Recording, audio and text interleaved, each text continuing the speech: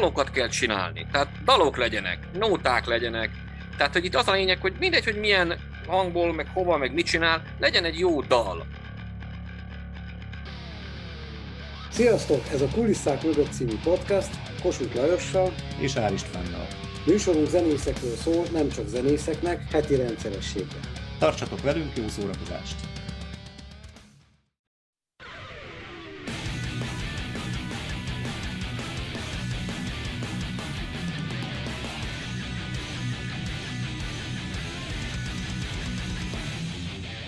Üdvözlünk mindenkit ebben a podcast sorozatban. A mai egy rendhagyó adás lesz, ugyanis nem egy, hanem két beszélgető partnert hívtunk meg. Szilágyi Tamást és Perényi Dénest, a legendás Atomik zenekar oszlopos tagjait. Sziasztok! Hello! Hello! Hello, sziasztok! Tehát Miskolci a csapat, néhány zenekar, aki egész sokáig el is jutott, ugyancsak Miskolciak voltak. Több korábbi beszélgetésben is említettétek, hogy pont ezért is talán ez egy hátrány volt. El tudnátok mondani, hogy mire gondoltok? Vagy mire gondoltok ekkor? Ja, amit most mondtál, igazából olyan nagy titok nincs ebben, ezt szerintem te magad is, vagy ti magad is tudjátok. Mi Miskolcon lakunk, élünk, és ugye Budapest a főváros, hát elég messze vagyunk a tűztől, Deni ezt szoktam mondani, és mi is ezt szoktuk mondani, hogy, hogy igazából a távolság abban az időben, amikor elindult a zenekar, a távolság azért az még mindig leküzdésre várt, mint az üveggolyó, amit nem kaptunk meg.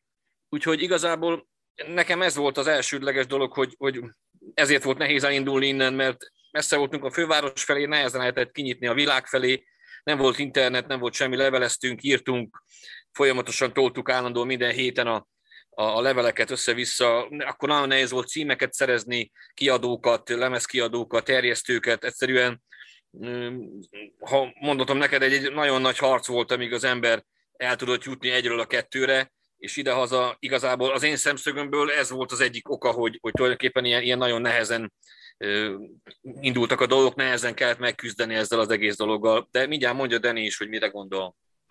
Igazából részemről annyi, hogy a, hát, mint ahogy az egész ország a, a, a zenei élet is Budapest központú, és uh, lényegében vidéken te csinálsz bármit, meg lehetsz bármennyire ismert, jó, mondjuk ez némileg túlzás, de ha Budapesten nem vagy ismert, nincsenek meg az ottani kapcsolataid, akkor, akkor nagyon nehéz. Tehát igazából Igen. Mhm. Hát ez, ezzel nagyjából egyet is értek, vannak persze nyilván kivételek. Meséljünk Én már egy kicsit arról, hogy... Ki a kivétel? Aki... Hát a tankcsapdáék, tankcsapdáék. az kivétel, jó? Ő kivétel. Jól van. Mondjuk már el a hallgatóknak, hogy milyen is volt a keleti blogban zenésznek lenni annak idején, a 90-es évek elején például. Pistivel már egy korábbi adásban a kezdetekről beszélgettünk, ugye mi is zenészek vagyunk, úgyhogy nagyjából tudjuk is, hogy mi ez a távolság, de hogy mégis, mégis hogy, hogy milyen, milyen volt akkoriban, hogy hogyan kellett ezt elképzelni, hogy, hogy egy gitárhúrt egyáltalán megvenni, vagy egy hangszert. Figyelj, ami az én véleményem ezzel kapcsolatban, hogy akkor, a, akkor gyerekek voltunk, vagy gyerek, gyerek voltam. Igazából teljesen más most belegondolni abban, mi volt régen, mint ami most van, ahogy most gondolkodom dolgokról, akkor igazából gyerek fejjel az ember nagyon szeretett volna azt csinálni, hogy, amit szeret, tehát hogy a zenével kapcsolatban úgy gondolta, hogy sok mindent el lehet érni, vagy legalábbis amit külföldön látott, kapott, úgy gondolta, hogy esetleg a, az újságokon keresztül, vagy ami beszivárgott, hogy, hogy létezhet olyan dolog, hogy, hogy ő is eljuthat oda, ami aztán kicsikét másképp néz ki a valóságban. De gyerekfejjel az ember igazából nem lát nagyon bele a velejébe ezekbe a dolgokba is, és úgy gondolja, hogy, hogy sikerülhet neki minden. És aztán rá kell jönni, hogy aztán sikerülhet minden, csak nagyon nagy kitartás kell hozzá, nagyon nagy karikát kell megfutni idehaza. Ez, ez az egész dolog igazából az én, az én olvasatomban kicsit így, így indult meg, hogy, hogy gyerekként ez nekem felhőtlennek tűnt, de, de valójában azért nagyon nehéz kihívás volt, hogy, hogy az ember ezt elhiggye, hogy ebből akár lehet, vagy akár el lehet vele valahol jutni. Az, hogy most én tudtam-e hurtani, vagy nem tudtam, teljesen más világ volt, ugye akkor az édesanyámra, a szüleinkre volt hagyatkozva mindenki a zenekarban, szinte bármit. Ha húrt akartam venni, akkor kérni kellett pénzt, hogy egyáltalán húrt vegyek, aztán, hogy hol veszek húrt, az egy dolog volt, hogy Magyarországon vagy Miskolcon egyetlen egy hangszerbolt volt a hivatalos hangszerbolt a főutcán, ahol egyáltalán bármilyen szerszámot, hangszert lehetett vásárolni. Ugye volt egy másik hangszeres basszek üzlet, az Elek hangszerbolt, azt nagyon szerettem.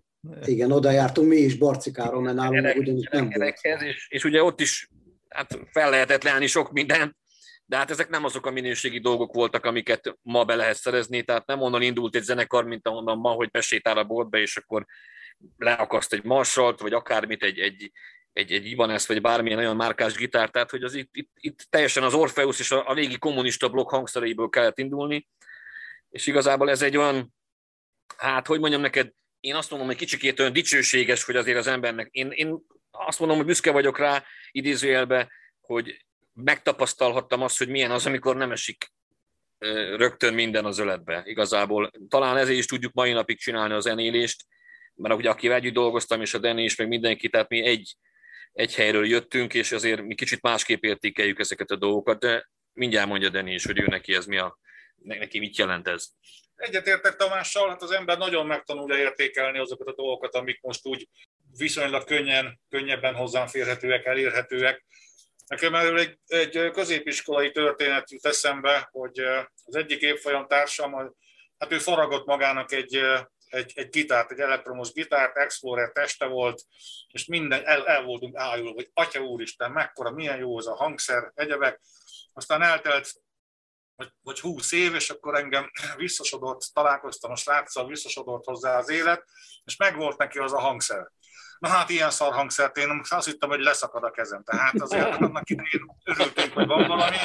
Utána megfogtam, megvágta a kezem a bund, meg minden, tehát hihetetlen mindegy. Tehát azért az ember ahonnan elindul, hát nincs összehasonlítási alapja, azzal dolgozik, ami van, azt szerzi, azt csinálja meg, ami van. Aztán utána, hát én nekem az első igazi normális hangszerem, hát az, most ez furán fog hangzani, ma már Nyugat-Németországból kimentem érettségi után, és akkor eh, az volt az érettségi ajándékom, hogy vettem egy, egy olasz eh, Fender eh, Strato másolatot, és na, az már, az már hangszer volt. Úgyhogy tehát így, így indultam, de tehát összesen lehet hasonlítani. Én mind a mai napig akármilyen bélpróbaterembe bemegyünk, meg minden ott vannak marsalok, ez az, az én kezem, lábam összeteszem, tőlem 10-20 éve fiatalabb zenésztársak meg ott fikázzák, hogy milyen szar, meg így szó szarul, meg úgy. Hát mondom, egyszer úgy az időgéppel elvinnélek egy olyan próbára, hogy annak idején mi csapattuk, lefostátok a bokátokat. Igen, az nagy különbség volna, az biztos, hogyha bele lehetne így kóstolni ezekbe a dolgokba. Én volt elég sok, végig toltam az összes olyan kommunista hangszert, ami volt abban az időben, ez a, az Orfeuszoktól kezdve ugye a muzimán keresztül, és megmondom neked őszintén, ugye jó, hát most már tudom, hogy mi a különbség, de nem tűnt fel, örültünk nekem, hogy a Dani mondott, és ugyanúgy szerettem az egészet, toltam rajta, szóljon, nem érdekelt, hogy milyen, az első torzított például Eleknél vettem, és az nagyon jó volt, mindent csinált szó szerint, amit kellett, torzított, fogta a rádiót, tehát teljesen jó volt, minden bejött rajta, és örültünk neki, hogy egyáltalán csak szól a, a hangszer, jó szó, hangosan szól, például egy, egy nagyon jó kis sztori volt, hogy nagyapámnak volt ez a világvevő rádiója, nem tudom, emlékeztek erre nagy csöves régi rádiókra amik ilyen hatalmas nagy dobozos rádiók voltak, tehát meg arra volt rákötve például az egyik gitár. Míg, míg azon, azon próbáltunk, tehát ez volt a Marshall nekünk, a, a nem is tudom mi a neve ennek, tehát volt valami különös neve ennek, hogy vagy ilyen... Nem a, nem a Pacsirta rádió? Hát a Pacsirta rádió, így van, Dini mondja, a Pacsirta rádió. Innen indultunk, és nekünk ezt jelenti igazából a dolog, hogy, hogy talán van összehasonlítási alapunk egy kicsikét. Lehet, hogy másnak is van, de valószínűleg az, az nem ugyanez, ami, ami a miénk. Uh-huh. Egy kicsit térjek már vissza, mondtátok, hogy küldözgettetek ugye leveleket, gondolom ezzel együtt kazettát, mert még akkor ugye CD-k nem nagyon voltak, vagy már lehet, hogy úgy kezdett, kezdett bejönni a CD. Volt egyébként visszajelzés? Nem, CD nem volt egyáltalán abban az időben. Aha. Én úgy tudom, tehát, tehát abban az időben külföldön talán akkor kezdték a CD-nek a, a népszerűsítését, akkor még a név is fur, furfangos volt, hogy ez a CD, hogy tehát compact disc, és akkor volt valami sztori is, hogy ugye mi legyen a neve ennek az egész kis fém, vagy ennek a műanyag korongnak, akkor nem, én úgy tudom, hogy nem volt, akkor a bakelit volt, és a kazetta. Aha. És akkor ezért volt igazából nekünk egy nagyon nagy megtiszteltetés, hogy ugye, mikor ez a, az első albumra kaptunk egy lehetőséget a külföldi kiadónál Svájcban, akkor mi azt gondoltuk, hogy LP-be gondolkodnak, ami nagyon jó lett volna természetesen, meg én nagyon szerettem volna egy olyat, és aztán CD-t mondott a, a és akkor szinte azt mondom, hogy több helyen úgy mondták ezt, hogy az első közt volt cd Magyarországon, ha nem első közt. Akkor Nagy Feróhoz jártunk nagyon sokat fel a rádióba, a garázsba, segített volna a Feró nekünk sok mindenben, és még ő is el volt csodálkozva, azt mondta, hogy figyelj nektek, hát hamarabb ezt szédjétek, mint nekem a Beatrice-vel. Úgyhogy Ez egy érdekes dolog volt abban az időben, de még így is kevés volt, úgy látszik a CD, de, de a lehetőség az mégis adott volt. És akkor így van, küldözgettük a kazettát. Eleinte, hát ugye Denivel minden nap, egy héten háromszor, négyszer, de szinte majdnem minden nap, hogy mondhatom, hogy összejöttünk, és akkor küldözgettük ide-oda a kazettákat. Aztán volt, ahonnan válaszoltak, volt, ahonnan nem válaszoltak. De, de minden, levél, minden levélbe, ugye? Tehát ilyen Így van. hetet, hogy visszaválaszolnak. Annak idején a CD mellett kazettán is megjelent, tehát CD kazetta kombó, ez volt, és még ezt megelőzően, a 80-as évek vége, meg 90-es évek legeleje, akkor orba szájba mentek a kazettákat, postán küldözgettük, mi is kaptuk, és jelentkezett egy belga fickó, akkor volt a 40-es éveinek az elején. Úgy is hívták, hogy Uncle Underground, és ő írt nekünk, és mi válaszoltunk, meg minden. És a kazetták mellé ilyen rengeteg nyomtatott flyerek, minden, és hihetetlen volt a csávó.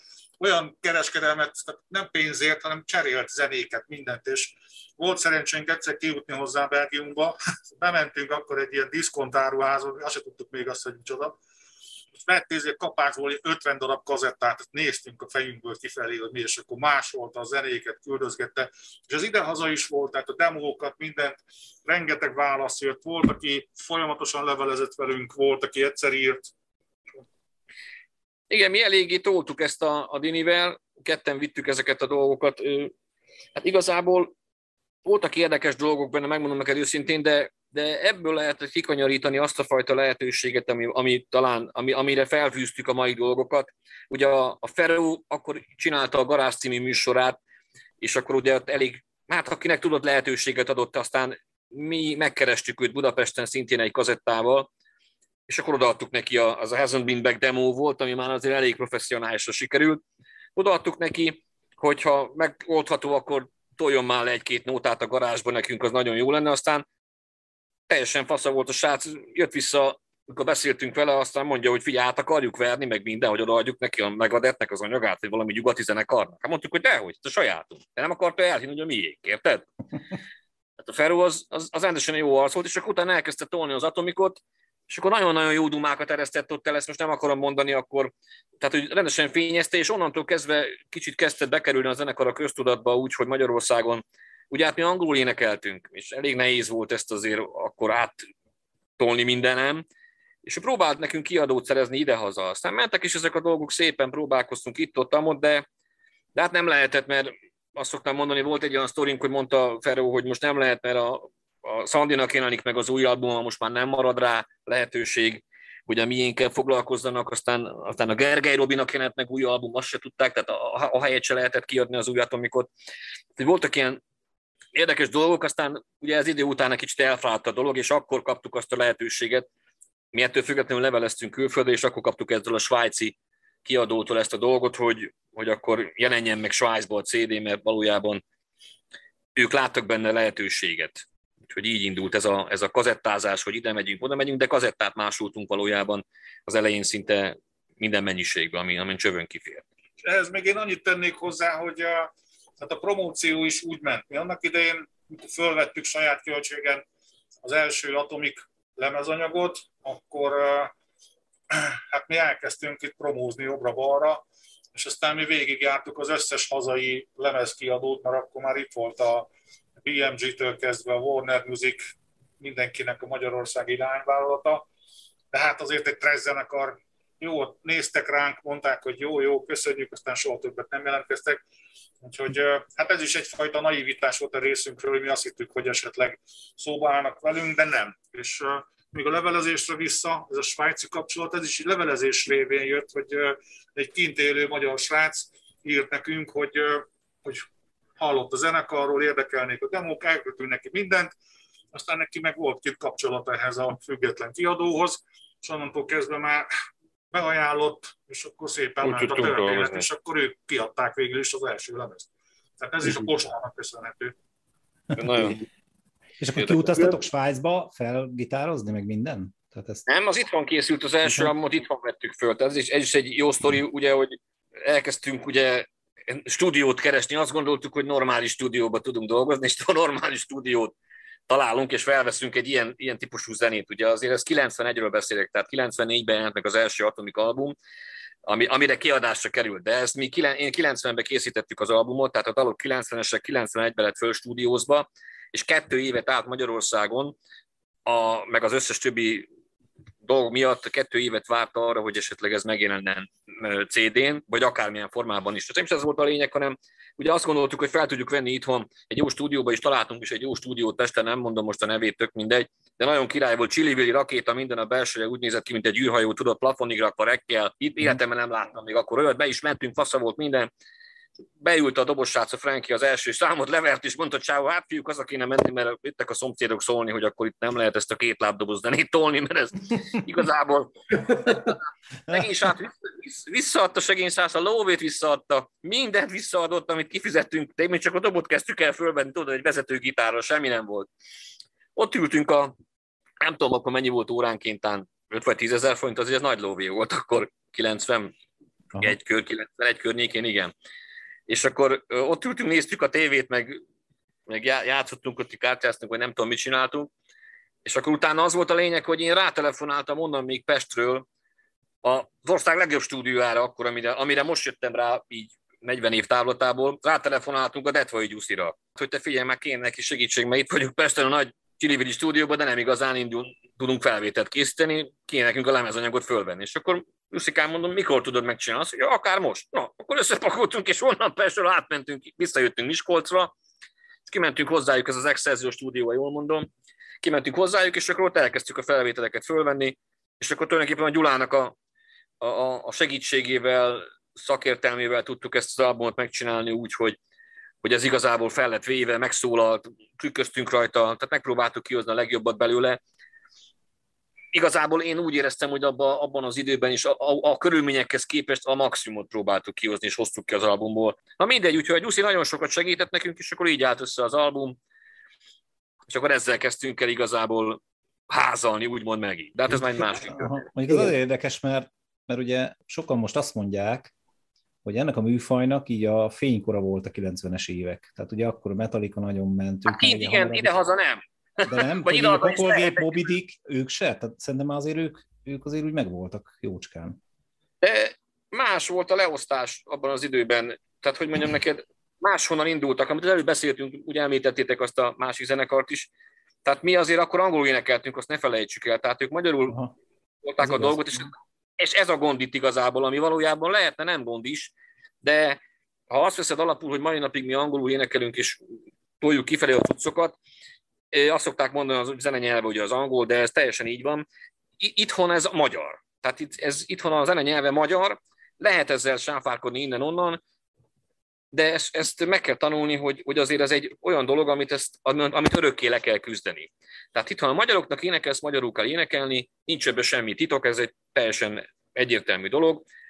Mi, amikor elkezdtük az atomikot, mi is magyarul énekeltünk, de mivel Magyarországon ugye az emberek tehát hogy igazából maga a piac, a, a, a közönség, amit te is mondtál, ugye hát a régebben tényleg sok mindenki volt, de mivel nem tudtunk eljutni megfelelő időben a megfelelő helyre, ezért az angol nyelv mellett váltottunk, hogy esetleg kinyílna a világ, tudod? Tehát több, több a lehetőség, úgy gondoltuk, hogy azért egy angol szöveggel azért meg tudja hallgatni bárki a világon, uh-huh. és ezért indult a Denivel közösen dolgoztunk, hozta a szövegeket, én is írtam, ő is csinálta, és akkor így jutottunk el valójában ez a svájci kiadóhoz. Tehát, ha én magyarul énekelek, nekünk nem lett volna külföldi kiadónk, és a mai napig nem lennénk idézőjelben mondjuk olyan helyen a zenekarral, old school csapatként, vagy esetleg olyan, ahogy te is említetted a felvezetőben, nem tudom már minek nevezted a bandát, kultikusnak, vagy valaminek, vagy nem tudom. Oszlopos kultikus tagjai vagyunk az Atomiknak. Igen, igen.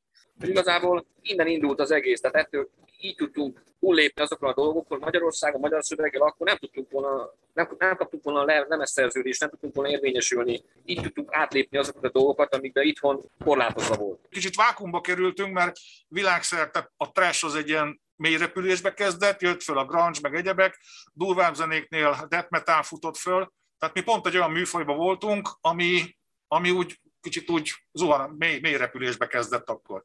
Igen, azt akartam mondani, hogy, hogy mi azért párhuzamosan, Parancsolsz. Jó sztori, jó sztori, mindjárt kérdezesz Lajoskám, azt ebben eszembe jutott, hogy a magyarul kezdtük énekelni, és akkor kézzel, akkor, akkor kreátorék jöttek játszani Magyarország, creator vagy creator, mindegy, hogy mondjuk, de kreátorék jöttek, És ö, emlékeztek arra, tehát volt egy ilyen kreátoros időszak, amikor Magyarországon először játszott a kreátor. Szóval az a lényeg, hogy szó volt arról, hogy esetleg kaptunk volna lehetőséget föllépni a, a kreátor előtt annak idején.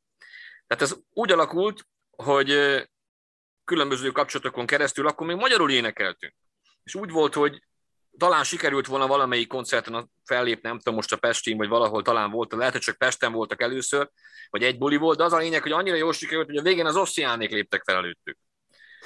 Tehát, hogy, hogy ilyen, ilyen is előfordul az életben, hogy igazából tehát nem azt számít, hogy hogy énekelek, mit csinálok, hanem hogy egyszerűen másképp alakulnak a dolgok. Aztán teljesen mindegy, hogy most én milyen jó zenekarnak gondolom magam, vagy egyáltalán ki mit csinál, nem ezen múlik az a dolog, hogy előre tudsz jutni egyről a kettőre. Nem. Egyébként pont az jutott most eszembe, hogy, hogy, hogy ez nagyon jó, hogy ezt a kritört felhoztad. Párhuzamosan ugye Miskolc mellett működött egy kazincbarcikai vonal is, ugye, amit mi képviseltünk, és mi mindig figyeltük a miskolci gitárosokat, meg hát viszont is, meg hát jártunk össze is, majd erről is tudnánk egyébként rengeteget beszélni, hogy, hogy valójában igazán nekem ak- akkor jött be először az Atomik a képbe, amikor Szalontai Peti barátom, aki hozzád is felment, majd arra el fogsz mesélni egy történetet, remélem, ja. ő, ő egy nagyon komoly szaktekinté volt nálunk, és ő felhívta a figyelmemet, hogy te Lajos, itt van az az Atomik, ezek, mint a Creator, bármelyiket el tudnák játszani. Mondom, hát ez nem létezik. Tudod, meghallgattuk, és akkor tudod, így el voltunk szörnyűködve, hogy hát hogy hogy lehet így gitározni, meg ilyenek, és amikor említetted a Gyuri, hát az Underworld Gyuriról beszélünk, ugye, neki volt az Excelsior stúdiója, és nem tudom, mennyire igaz ez a történet, mert mi nem náluk vettük fel a demóinkat még annak idején, hanem talán az egyiket a parkban, ha jól emlékszem, Park stúdióban, de az Underworld Gyulinál volt egy ilyen alapszabály, hogy ha valaki bement hozzá a stúdióba, akkor ő elmondta, hogy na gyerekek, ha menni fog a dob, akkor felvesszük, ha pontatlan, akkor dobgép. Tehát, hogy ő nem volt hajlandó kiadni hulladékmunkát a, a kezéből, és annak idén azért egy komolyan meg kellett tanulni, pontosan játszani ahhoz, hogy te egy stúdióba egyáltalán bemenjél. Tehát egy mai, zenészeknek egy jelentős része simán kiesne ebből a körből, mert egyszerűen kizavarnák a stúdiót. Ma már nincs szüksége rá, hogy zenéjel, Hát már most már meg lehet úgy javítani mindent, hogy nem is kell, hogy tudjon. Nem tudom, mit akartam ebből kihozni, de a lényeg az, hogy a Szalontai Peti is volt fönn nálad, ugye mi zenészek is Igen. jártunk össze még annak idején, az mesél már azt a történetet, hogy ez itt, hogy, hogy került ő be a képbe. Figyelj, az egy, az, neked említettem az előbb az, egy privát beszélgetésben, igazából ismerem, most, is, hát igen, most már sajnos múlt időben, ugye mondtad, hogy nincs igen, köztünk. Igen, meghalt a Peti, igen, igen. Igen, de nagyon-nagyon jó arc volt, és tényleg úgy képzeljétek el, hogy, hogy én nem ismertem sose ő, soha nem láttam, nem is találkoztunk soha, és otthon ültem, gitároztam, csöngettek, kéntem az ajtót, és rá egy nagyhajú, ilyen distraction fazonú csávó, és akkor kéntem, Mondom, szervusz. Száj, Atomic Tamás, brutál, keresem. Szervusz, én vagyok az. Figyelj már, olyan jó az a demo, amit csináltatok, és hogy ez most ez így el, megcsinálni, meg minden, aztán az Everything for Nothing demo volt, azt hiszem akkor jelent meg. Tök tetszik, és hogy milyen király, hát mondom, gyere be, akkor beszélgessünk. És akkor be volt, el volt ájulva, hogy fú, behívtam beszélgetni, de mondom, figyelj, miért ne jöttnél be, mondom, hát ez mégis csak olyan, hogy, hogy, hogy ez hogy hát így az utcáról bejön, mondom, gyere be, és akkor odaadtam a gitárt, és elkezdte játszani a számokat, leszedett egy pár nótát a demóból. Live most kérdeztem tőle, hogy, hogy hát mondom, figyelj, hogy, hogy csak így jössz, mondom, becsengettél minden, aztán nagyon aranyos volt egy ilyen, nagyon baráti dumát engedett el, mondta, hogy hát, hogy hát, hogyha jó, Amerikában lenne, vagy külföldön, akkor a motorhetet is be lehet, lemihez becsöngetni, akkor, akkor bement volna ő is. Úgyhogy egy nagyon, nagyon aranyos gesztus tett, hogy, hogy tulajdonképpen oda magasztalt majdnem, hogy meg, megkeresett, úgyhogy én ennek örültem, és akkor tudod, dumálgattunk, gitározgattunk, nagyon jó fazon volt, én nagyon szerettem mm. őt. Most akartam volna idézőjelben, amit mondtál sajnos, ugye, hogy, hogy mi van vele, és akkor kicsit felvenni a kapcsolatot, de hát erre már nem lesz lehetőség. És most nekem még erről a becsöngetésről jut eszembe egy érdekes történet, hogy a, készültünk a lemezzel, és hát akkor eldőlt, hogy akkor itt veszük föl Miskolcon, és hát előző nap én még mentem Tamáshoz, hogy még egy kicsit gyúrjunk, és látom, hogy rohadt nagy tömeg áll a ház körül. Tamás, ja, amikor a rendőrség elvitt titeket, igaz? Van, mind a kettőnket úgy bevittek, mint a szellő előzőn, egy nappal stúdió előtt, mert be, valami rablás történt a másik lépcsőházba, és ilyen hosszú hajú csávót kerestek, úgyhogy Tamást is bevitték, én egy órával később mentem, engem is bevittek, azt ott bent tartottak a rendőrségnél, kihallgatás, minden szembesítés, egyebek. Azt mondja nekem a nyomozó, hogy figyelj már, hát a barátod nagyon nagy bajban van, mert biztos, hogy ő volt. Mondom, az kizárt dolog, nem tudom, 200 éve készülünk arra, hogy lemezt vegyünk föl, holnap megyünk stúdióba, ma biztos, hogy nem ment el rabolni. nem volt vicc. Igen, tehát azért nem, így, így utólag nevetünk rajta, de azért akkor az, az, az elég faramutú volt. Ja. De akkor még aznap kiengedtek, és akkor aznap kiengedtek. Az, de várjál, lent találkoztam Denivel a fogdába, tartottam a számot, fényképeztek. Mondom, szia, te is jöttél? Igen, és akkor utána te jöttél. Te is jöttél. Minden ezért fénykép, minden. Hát azt mondom, hogy rabosítottak valamilyen formában, hogy hát a fene tudja, hogy akkor mi volt, vagy, vagy csak félig meddig, vagy hát az a lényeg, hogy utána mm, történt a, egy ilyen félig meddig szembesítés, nem, nem személyesen, de kiderült ugye, hogy nem én voltam, aztán meg, hogy nem a Deni volt, Na de hát ennyi erővel benne is maradhattunk volna, mert utána képzeljétek el a másik lépcsőházba, akkor még a, a, a volt nevelő apámmal dolgozott a, egy, egy srác, aki szintén hosszú hajú volt, és a gyereket ugyanúgy be, bevitték, bekaszliszták, hogy ugye ő is hosszú hajú, és hát ha ő volt, és sajszítek, hanem rá viszont azt mondta ez a, akit, aki ugye, akit megtámadtak, hogy ő volt az. Érted? És az mhm. volt a máki, az volt a máki a csávónak, hogy akkor aznap az öreggel dolgozott, képzeld el. Tehát ő adta neki az igazolás, hogy együtt maszekoltak, ott volt segédmunkában a gyerek, de ha nem lett volna, aki leigazolja, nem tudjuk, hogy mi lett volna vele. Tehát ott is előfordult ilyen azért abban az időben. Tehát az nem, nem olyan volt csak, hogy most jó, hát kiengedtek. Hát persze, kiengedtek, na de hát jött anyanyám, telefonált, meg mindenki, hogy hát hol van a gyerek, hol, hol, hol viszik az unokámat, meg minden. Tehát azért nem úgy volt, hogy pikpak csak érted. Mm-hmm. Tehát ez érdekes, érdekes dolgok ezért. Ma már ilyet nem tudsz, ez, hogy... Ez nagy rock'n'roll volt. Jaj, bocsánat. Ez így elég rockstáros. Igen. Hát ja, azért mondom, hogy az, az, abban az időben az ember gyerekként ez annyira jól sül el, vagy nem tudom, gyerekként ez olyan jó megélni, ha, meg tudsz, ha már tudsz egy ilyen kis részt is magadévának tudni, hogy, hogy, hogy nem veszed komolyan dolgokat, de mégis úgy csinálsz, hogy, hogy szeretnél ö, olyan lenni, mintha nagy rockstar vagy nagy zenész lennél, de te, akkor az ember ezt nem érzi, és a zenében is, amit mi is csináltunk, ugye az atomikos részről, ugye Creator, Metallica, Slayer, nem az volt a cél, hogy én most mekkora muzsikus vagyok, vagy hogy hanem hogy olyan zenét játszunk, ami a kedvenceink. Nekünk ez volt, nekem ez volt a lényeg. De nem érdekelt, hogy most ez a szám ugyanolyan, vagy nem olyan, sekit nem érdekelt abban az időben. Nem volt semmi, örültünk neki, ha el tudtunk játszani egy riffet, ezt már több, én is elmondtam egy párszor. És tök jó volt, hogy, hogy, hogy el tudtunk egy olyan stílusú nótát játszani, ami, ami mondjuk akár a Creator, a Slayer, vagy a Metallica, Hát, hogy valaki azt mondta, hogy ez most olyan, hát engem nem érdekelt egyáltalán, úgyhogy nem, nem foglalkoztunk vele. De mai napig is így van igazából. Ez, ez nem annak a mércéje, hogy most ettől lesz valaki jobb zenész vagy rosszabb zenész. De nem ez, nem ez dönti el, hogy milyen számot játszik el, meg kitől. Nem kell azért most olyan számot csinálni, hogy hú, de egyéni vagyok, és akkor 120 hangot fogok, és most ilyen harmóniát, olyat játszok, csak azért, mert most én megmutatom, hogy én annyira tudok zenélni, hogy én most nem hasonlítok senkire. Nem érdekel ez senkit se, én szerintem. Tehát legalábbis engem nem érdekel. Legyen egy jó zene, nem érdekel, hogy 300 szor hallottam azt a riffet, ha jó meg van fogva, el van játszva, fasza tetszik, nekem az bejön. Úgyhogy mi innen ebből a dologból táplálkozunk, a régi gyökerekből, nincs itt nagy titok, hogy most hogy ki mit csinál, hogy csinál. Mindenki ugyanazt csinálja. Ez nagyon jó szori volt erre, a kiadó srác mondta nekünk annak idején, a, a svájci gyerek, hogy, hogy kijutottunk, és hogy hát most angolul vettük fel a lemezt, énekeltünk, hogy de hogy most mi lesz, hogy most mi Svájcba és a külföldi piac, hogy most ugye nem tartottuk magunkat olyan szintűnek, vagy legalábbis úgy voltunk vele, hogy hát mégis azért megugrani a külföldi szintet, és mondta Csáv, hogy figyelj ide, te ne a magyarokhoz hasonlíts magad a külföldi piachoz nyugodtan, mert ez egy olyan jó album, hogy azt mondja, itt nektek ezt kifele kell hasonlítani magatokat, akkor tudtok előrelépni, hogyha nem itthon hasonlítjuk, itthon is persze az ember elteszi magát egy helyre, meg mások is eltesznek, de, de kifele, hogy tudjunk előrelépni, akkor jöttek ezek a dolgok. És ő mondta, hogy ide figyelj, több ezer éve is főztek az emberek. Aztán ugyanúgy főztek. Most van, aki jobban tud főzni abból a, abból a fűszerből, van, aki meg szarabul főz. Úgyhogy nincs ebbe trükk, hogy most mi van. Van, aki ugyanazt meg tudja csinálni, jobban van, aki meg nem. Úgyhogy ez egy ilyen érdekes dolog, de nekünk ez jött be.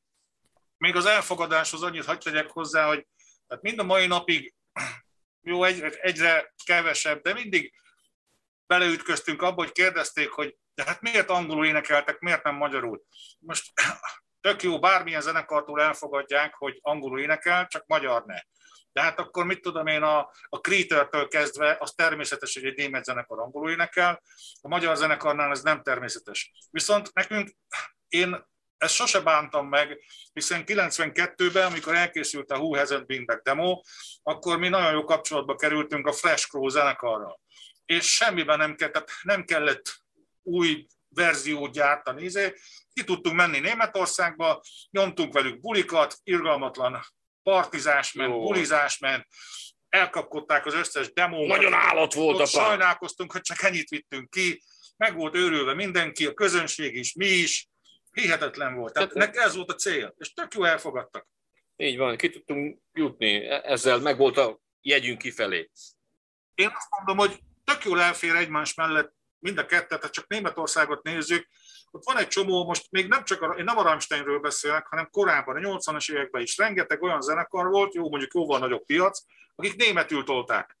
Aztán mellette megjelent egy csomó olyan zenekar, akik meg angolul tolták. De ezek nem cseszegették egymást, meg a közönség nem cseszegette le. Akkor szépen, ilyen is van, olyan is van. Azt hallgat mindenki, amit akar.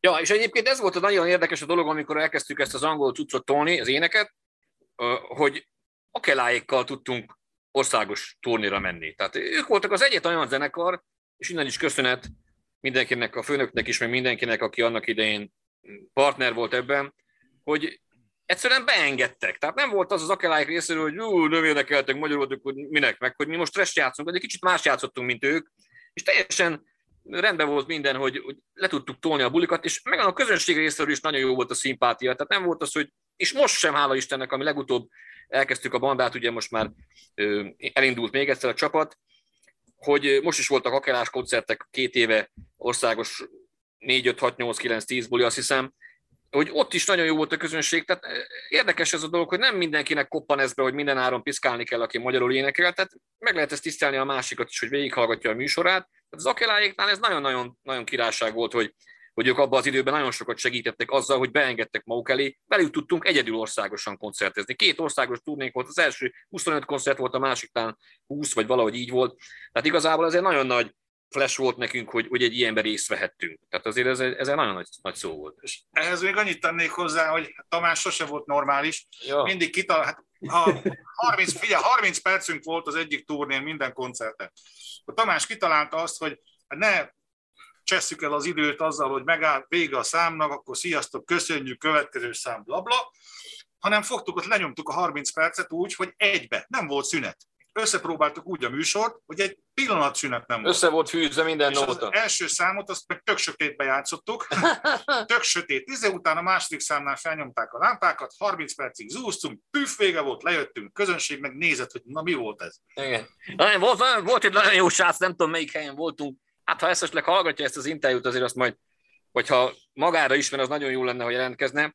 Nem tudom, melyik helyszínen voltunk, és beszélgettünk már a buli után, és azt mondjuk, ő is mondta, hogy oly, nagyon jó csapat, meg tök jó, mikor, mikor csináljátok ezt a vi vi vi vo va va va vi vi vo va va va va tehát a, a, a reszelést, a gitározást úgy hogy nem azt mondta, tudod, hogy g g g g g g g g g hanem azt mondta, hogy vi vi vi vo va va va va vi vi vo hú, nagyon király, és ezt a figurát keressük.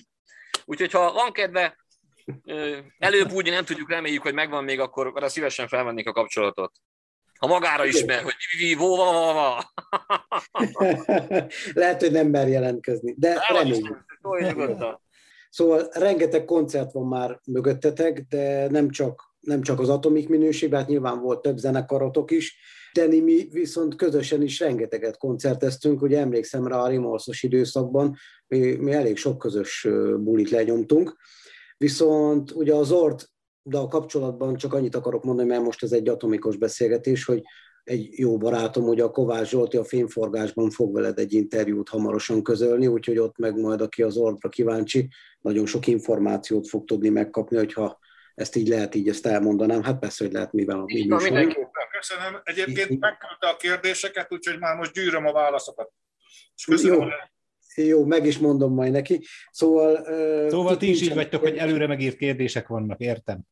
Na, ja, így könnyű. Előre megírt válaszok, az jobban hangzik. Az még jobban. Hát mi nem írjuk ja. meg előre, még, még, ilyet sem, még ilyet sem csináltunk, hogy két emberrel beszélgetünk, úgyhogy... De megbántad?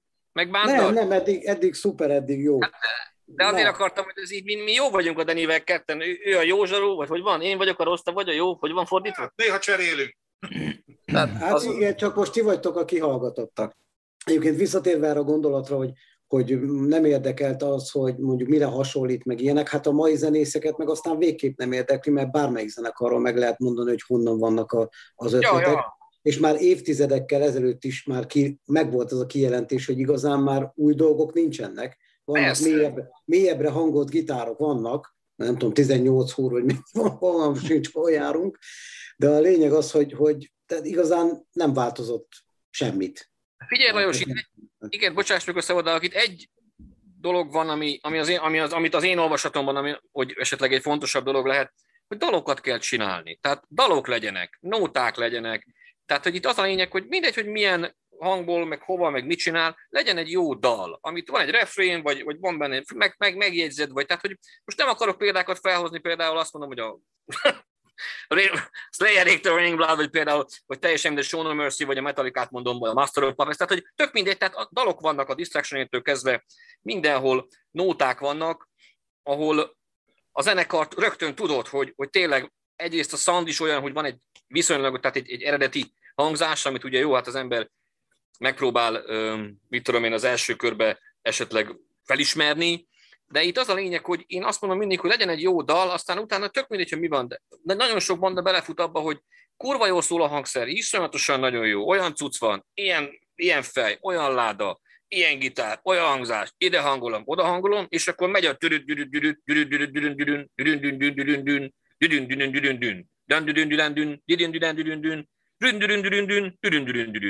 tehát ez tök jó, aki ezt szereti, de ebből, ebből nem tudok énekelni egy dalt, érted? Tehát én nem, nem tudom felfűzni a dolgokat.